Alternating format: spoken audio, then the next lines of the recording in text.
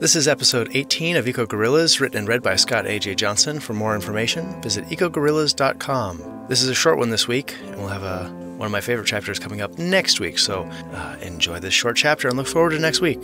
To support this project and get early access to all the chapters, head over to patreon.com slash sajjohnson. If you've gotten this far, I hope you're enjoying it, so take a minute to tell a friend. If you've done that, please consider leaving this podcast a review on iTunes, YouTube, or wherever you listen. And thanks. This podcast contains fleeting explicit language. Chapter 42 3.1.3 Solutions for Sustainable Generation. Electricity is a tool that must be managed responsibly. Our three main precepts must guide our energy strategy. First, we must recognize that we are one of many species on this planet. When our energy generation affects other species and ecosystems, that use must be critically examined and potentially curbed.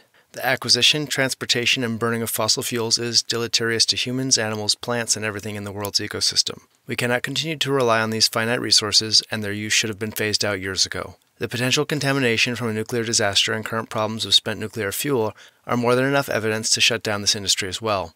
The inability of hydroelectric dams to reconcile their existence with fish and other aquatic ecosystems means they should be dismantled. Second, we should work to mimic successful natural systems and live off the planet's surpluses when we consider which power sources to use and how to use them. The most obvious form of nature mimicry is solar energy. In addition to photovoltaic panels, we can harness solar energy for cooking food and heating water and buildings. Solar energy is best used at its point of generation, and a dispersed grid of rooftop solar is not dissimilar to a forest of aspen in which each seemingly individual tree is linked by a shared root system. Biogas is generated by microorganisms that break down waste organic matter. Instead of letting the methane and other combustible gases escape into the atmosphere, they can be harnessed and used to heat houses, water, and food, as well as power engines. Combustion breaks down complex hydrocarbons to less potent greenhouse gases. Additionally, geothermal power is safe, reliable, and mimics the microorganisms that survive at deep ocean fissures. Finally, Although small scale wind and standalone hydro turbines both depend on renewable resources and are considered low impact,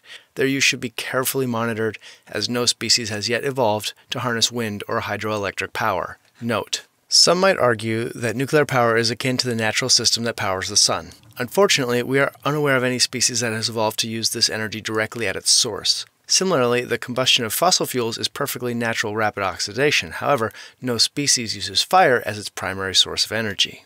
End of note. In addition to generating power by mimicking natural systems, we must learn to live within our means, and this requires us to recognize natural limits.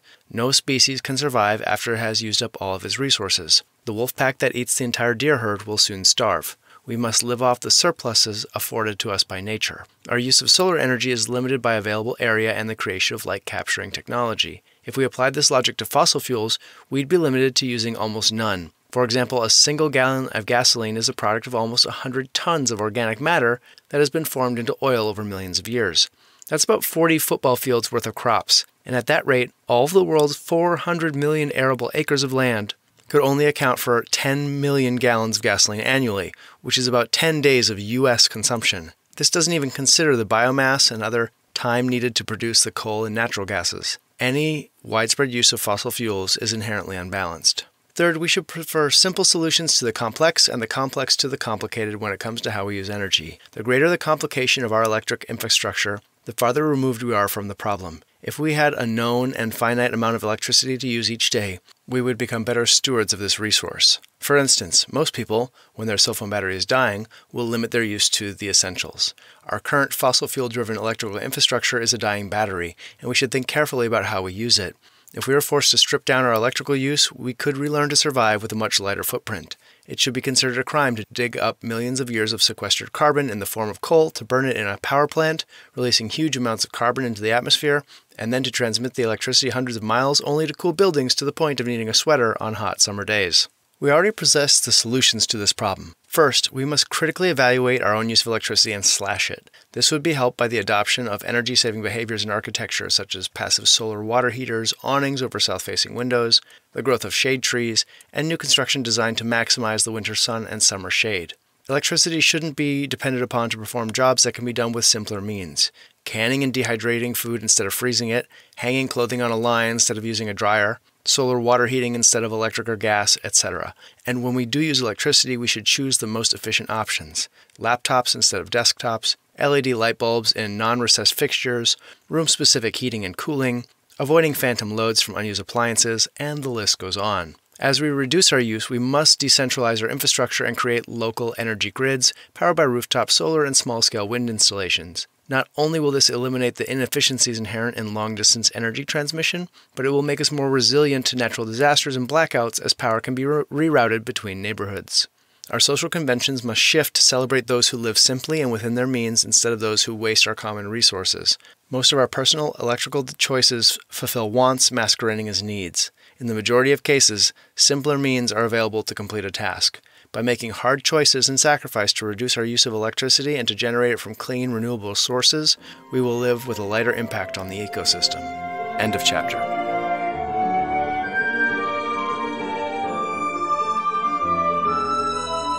Chapter 43 The Nuclear Problem, Winter 2015 16. Hey Stan, what's new? Eric leaned on the freshly built wooden bar. Not much, just busy with the fall brews, you know. Time for pumpkin, said Stan. Nice. Can I get a pint of the Belgian? Oh, and do you have a bit to chat with me? Oh, yeah, sure. Uh, what's up? Stan poured the red brown beer. Uh, can we talk at a table? Eric thumbed toward the tables along the bench next to the wall. Really? Something interesting, eh? Uh, probably. Yeah, uh, let me just close out these tabs. Have a seat. I'll be right over. All right, what's going on? asked Stan as he swung his leg over a stool across the table from Eric. I have some questions for you, but I need you to keep them between us, and you can't even tell Kat about this yet. Sounds ominous. I'm in. Seriously. Yeah, I'll, I'll consider it attorney client privilege. Don't I need to retain you for that? Well, you need to meet three criteria. One, be my client. Two, I have to be an attorney, which you are. Yes. And three, you're seeking legal advice. Uh, okay, sure. I can do that. What are the legal ramifications of shutting down every nuclear power plant by threat? Stan's sip of beer caught in his throat.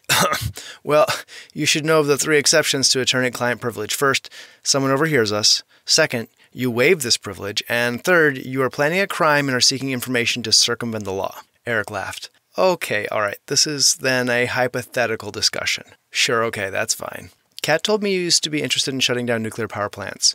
So I thought I'd run a, he raised his hands to make air quotation marks, hypothetical scenario by you. If the national power grid collapsed, what would happen to nuclear plants? What did Kat tell you exactly? Just that you were looking at ways to shut down these plants when you, you met. Did she bring it up? No, I was asking her about secure online communications. Why? You know, just gathering information on my hypothetical scenario. Uh huh. Okay. Well, let's just leave that life for a moment. When the power dies at a plant, an automatic process known as a SCRAM takes place. Supposedly, SCRAM is an acronym for Safety Control Rod Axeman. And the story goes that at the first nuclear reactor, which was built under the bleachers at the University of Chicago in early 1940s, Right. They had a man standing with an axe near a rope that suspended a rack of control rods over the reactor. If the reaction started to run out of control, They'd cut the rope, and the control rods would absorb the excess neutrons and kill the reaction. Modern reactors have not changed much except they have replaced the Axeman with a gravity and spring driven rack of control rods. Within a few seconds of a scram order, the rods are fully inserted into the core. Although this immediately stops most of the reaction in the principal fuel, a little of the daughter material will still continue to produce quite a lot of heat for hours after the scram, and enough heat to cause problems for months. If they're shutting it down for a prolonged period, They'll add liquids like boric acid to the water surrounding the core.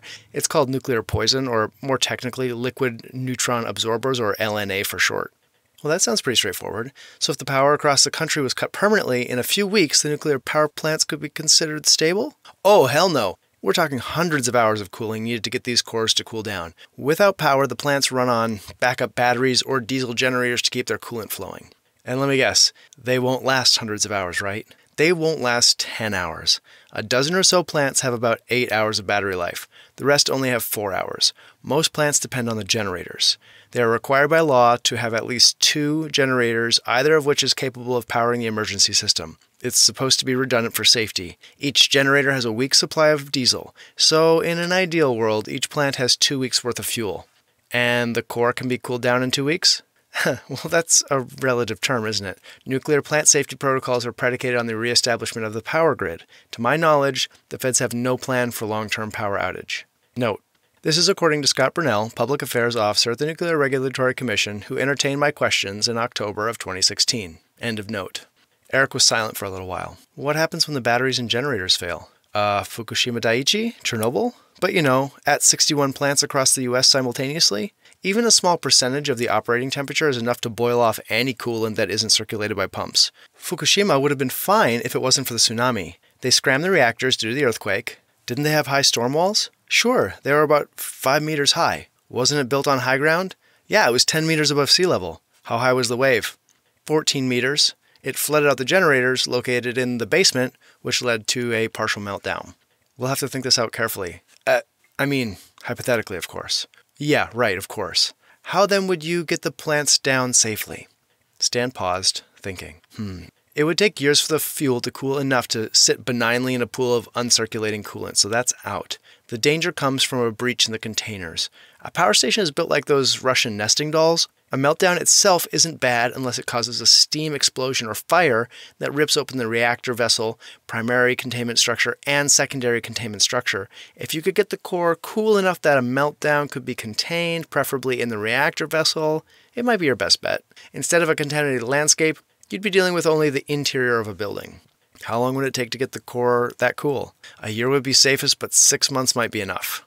That means running the generators for six months, having a crew monitoring the station for six months. The generators, yes, but some responsible adult would have to babysit the thing for a, really the foreseeable future, even after a contained meltdown. Eric was silent. It floors me that we built these systems. The safety features are all predicated on the support systems functioning smoothly. If you stop managing a coal plant, it shuts down. If you stop managing a nuclear plant, it's likely to explode and spread contaminants over the surrounding region. The collapse of the electrical grid was and is seen as such a remote possibility that realistic measures are not in place. All right, so how much fuel would the generators need? It's tough to give a straightforward answer to that because the variables involved. First, we have 61 plants but 99 reactors. Plants with two or three reactors need more power to run their generators than single reactor facilities. Second, somewhere between an eighth and a sixth of reactors will be down each spring for refueling. That's when the power demand is the lowest, between winter heating and summer cooling. This would be the best time for the disaster to strike because those reactors would be cooler from the get go. Third, plants have differently sized generators.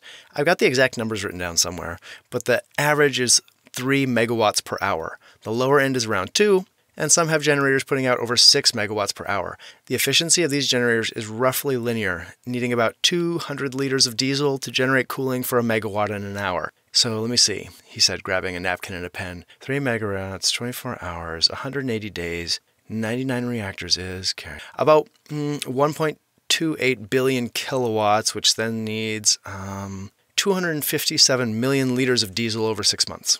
Or, said Eric, who had been calculating on a smartphone, an average plant would need about 14,400 liters per day. That's about half the capacity of a tanker truck. So every two days, a tanker truck would need to refuel these plants for six months at a minimum. That doesn't sound feasible. Not if the grid is down. What else is going on during that time? Well, hypothetically, uh, the natural gas and petroleum pipelines would be disabled. That would only leave the national strategic reserves. Reserves plural? I thought we just had the one petroleum reserve down in Louisiana somewhere. We also have a diesel reserve up in the Northeast. It's for heating oil, but that has about a million barrels stored up in the beginning of each fall. That works out to, let's see, 159 liters per barrel divided by national daily need, mm, about 100 days of fuel, but that assumes it's all allocated for nuclear emergency generators. Yeah, I imagine the New Englanders will be riding in the snow without heating oil that winter. Better that than a nuclear winter. We're still 80 days short of a half a year. What about the Strategic Petroleum Reserve? Oh, that's plenty big enough. More than a billion barrels of diesel could be made. Problem solved then? No, it, it's stored as crude and would have to be refined, which might be difficult without pipelines or electricity, don't you think? Shit, said Eric. Shit indeed, said Stan. End of chapter. End of episode 18 of Eco Guerrillas. For more, visit ecoguerrillas.com. And thanks for listening.